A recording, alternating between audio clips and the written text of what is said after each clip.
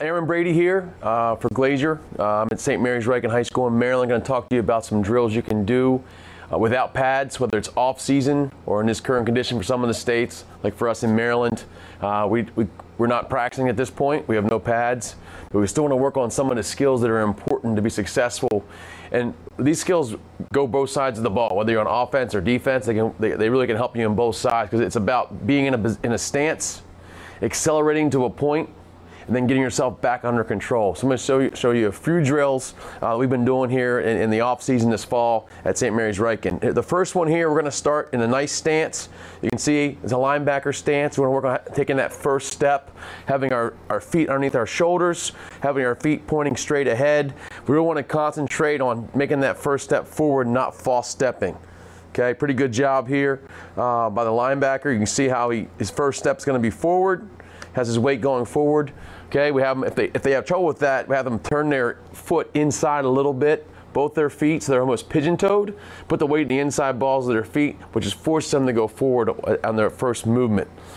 We have the cones here. That's what the starting point is the first cone, obviously. Okay, then they have the four cones. That's going to be our come to balance. So we want to go as fast as we can I call it zero to 60, right? When I talk to these guys, we're gonna go as fast as we can from the yellow cone to the first cone in line. All right, so I'm gonna start in a great stance, great first step. I wanna explode and burst. If we don't do this drill uh, full speed, it's not gonna help us. As soon as I get to those four cones, at that point, you see he's bursting here, he gets to the four cones. Now I'm gonna go into where I'm gonna sink my hips. I'm gonna go heel to toe, heel to toe, heel to toe, heel to toe, right? We call that coming to balance. I want to come to balance. We have coach standing there, okay, masked up for COVID, all right? We're going to come to balance right in front.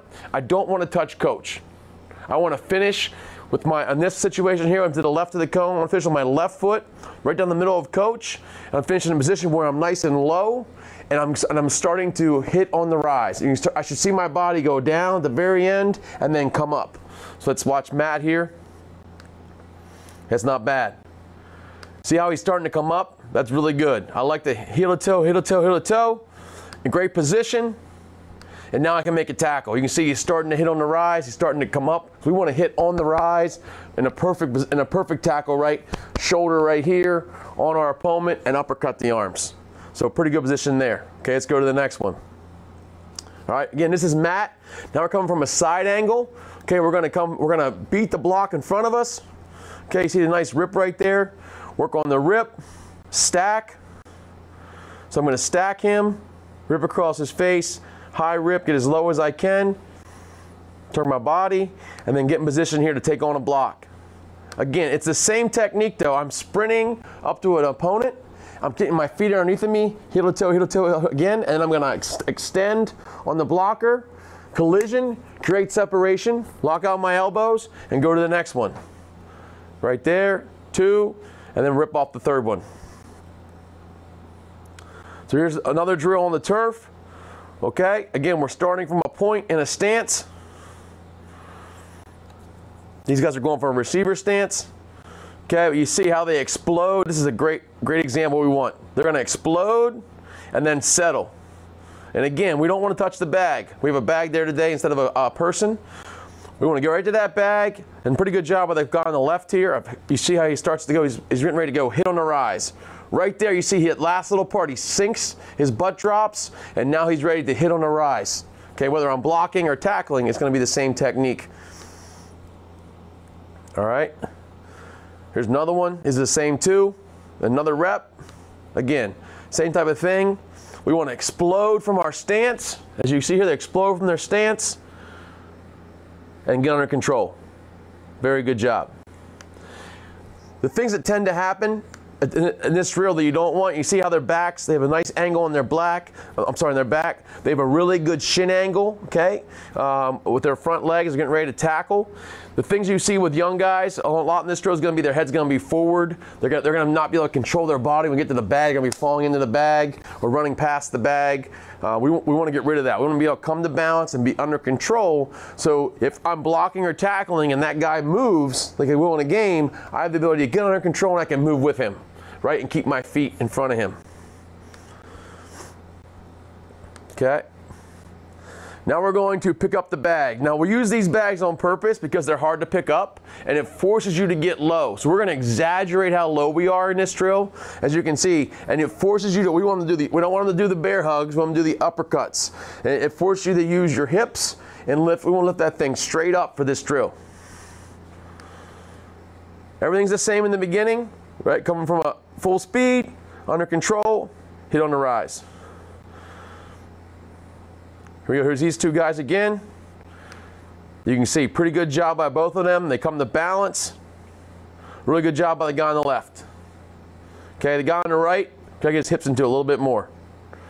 We talk about stepping on their toes. You can kind of see his body posture here, a little bit rounded. We want to get low and then hit, and excuse me, and pop our hips, okay, and, and, and hit on the rise on that guy. But you understand what we're trying to accomplish here. Last one. Okay. Okay, now, same kind of drill out in the grass. Again, this is the same kid, Daniel right here. All right, he's gonna attack it. Nice. Really good job. Took away the cones. This is probably, you know, three or four days into it. Take away the cones so they learn how to do without the cones, right? We don't want to, don't want to be robots. So now they're gonna go from your stance. I'm gonna burst. I'm gonna get close to my target, heel to toe, heel to toe. I'm gonna hit on the rise. Pretty good job.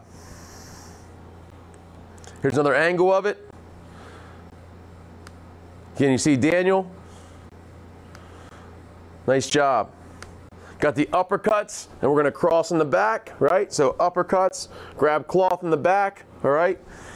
In good position, and I'm hitting on the rise, and I'm stepping on his toes. These are all the things we talk about when we're talking about blocking or tackling. All right, this drill right here, this is to simulate, um, again, without pads, we have one guy who's the rabbit. The guy on this side is the rabbit. This guy's gonna be the defender. The drill is for him. So our rabbit's job is to, to take the same exact steps. He's working on his burst, come to balance. He's gonna shuffle out of the drill either way. He has to come up and make sure he has his eyes on his hip, pick a hip, and then work out with that guy, come to balance, and be able to move my feet and get my feet in front of that guy and be in a position to, to again, make a tackle or make a block. You see here, you got a little overzealous, slightly out of control at the end, and that's what happens, okay? And then reacts late, and then you got to catch up and run. In a perfect world, we want to shuffle with this guy, right? Shuffle with him, stay on that back hip. That's where my eyes are okay? And get my feet to his feet and step on his toes. Okay, so that was straight on. Now we're going to angle. So now we're talking about tracking the running back. So now the bag, as you can see, is to the side on a 45 degree angle. We have a rabbit over here. Here's our tackler, okay? They're both gonna run to that bag. You tell the rabbit to run to the front corner of the bag, all right? And he's gonna shuffle outside. Now, on this drill, we also give him a two-way go. So he can, he can either run to the front corner of the bag and shuffle this way, or you run to the front corner of the bag and he can cut back the other side. For the defender, we want to stay on that backside hip the whole way and track that backside hip. You're going to see our player here track the backside hip, does a nice job, and once he determines he's going to go this way, he's going to finish the drill. All right, so we'll watch it right here. Good job. See, he's on the backside hip. He's lagging the hip. He's in good position. Shuffle, shuffle, shuffle. Get your toes to his toes. Get your toes to his toes. Good job. Again, all the same principles come in though. Burst, okay, get under control, come to balance. Make sure you're tracking inside out, so I'm tracking that hip. In good position.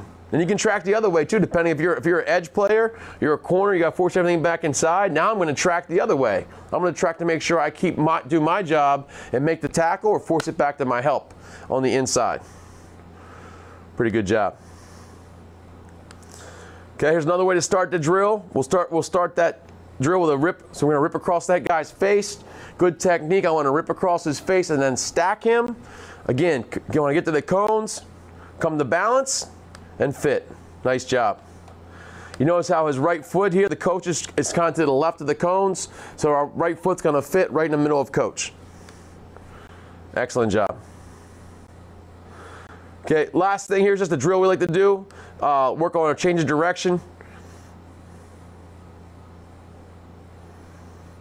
And what we'll do at the end of this drill sometimes is have a guy standing there to simulate a, a running back. So again, we'll go through a, a drill of, you know, get there, shuffle, shuffle, turn and run, all things that colleges want to see when you're on campus. And you finish the drill with a player and you break down that player, right? You, you come to balance in front of a player again, always working on those simple techniques.